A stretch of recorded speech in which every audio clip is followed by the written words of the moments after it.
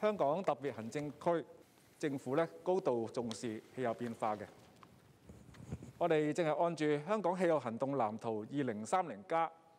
邁向相比二零零五年基準年減少百分之六十五至七十碳強度嘅二零三零目標，達至碳中和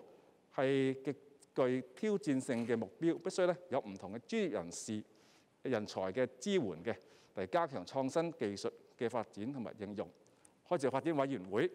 誒就呢個香港長遠減碳策略進行嘅公眾參與過程咧，已經主動收集公眾包括咗各專業團體同相關專業界別人士嘅意見。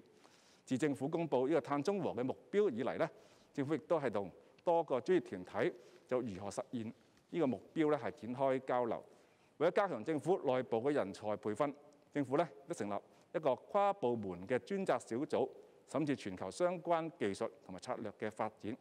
政府亦都會通過低碳綠色科研基金同埋清潔生產伙伴計劃等等咧，係支援本地嘅團體同埋行業嘅科研同埋減碳工作，以期本港軟硬實力兼備，邁向碳中和。